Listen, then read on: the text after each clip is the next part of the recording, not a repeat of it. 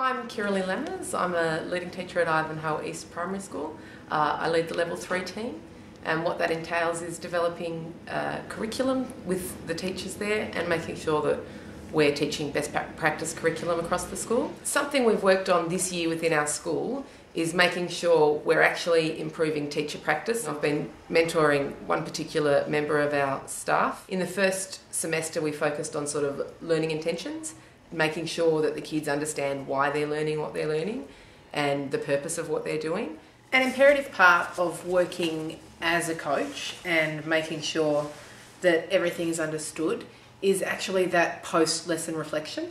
We've been reading The Little Refugee. Who can tell me what our focus has been when we've been reading The Little Refugee? Ryan. Questioning. What type of questioning are we looking at? Literal, inferential, and evaluative. And does Miss Lemons just ask you those questions? Um, no, we ask the questions. Why do you think we do it that way? To understand what you're reading so that we can understand what we're reading. That the learning intention was to understand the differences between the three types of questions. And that's what I always mm. do with actual guided reading, unless it's a small, small text. Mm. So, what we do, we have our initial lessons where the person being coached will come in and view your practice and sit down and discuss with you afterwards what's happened.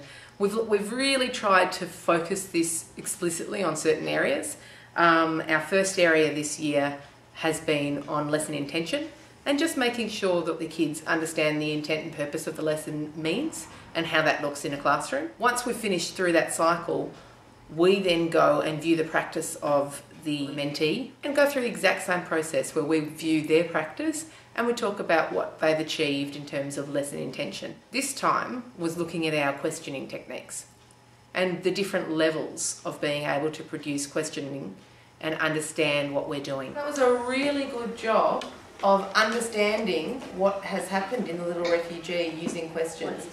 Because the questions that you came up with, most of them weren't simple literal questions. You thought a lot about what was in the story and you used a lot of the information to predict what was happening. I did like the way you said it's possible because you're not 100% certain because you're not, Ando. So all questions asked, number two, during the lesson are clear, focused and purposeful. Uh, based on what I saw, yes indeed they are. You uh, ensure there were follow-up questions to acquire further deeper information. Yep. Uh, and there was also constant reference to the type of uh, questioning uh, you kept referring to inferential, literal, evaluative. So that came, that theme came through. Now that it's something that we've done several times this year, it's much more relaxed. It is a formal process in terms of we have to record what we've done and reflect on what we've done, and we have to post those reflections. But in terms of the intimacy of having the one person that you're working with all the time, it sort of makes it a little bit easier for the teachers. I guess when we look at coaching as well, we are looking at how can we improve the data of our students in our classrooms? As a school, how can we develop our numeracy skills and improve our literacy skills? And the best way that we think we can do that is by actually viewing other people's practice and reflecting on that practice and saying, well, this was really good, but could we do this next time?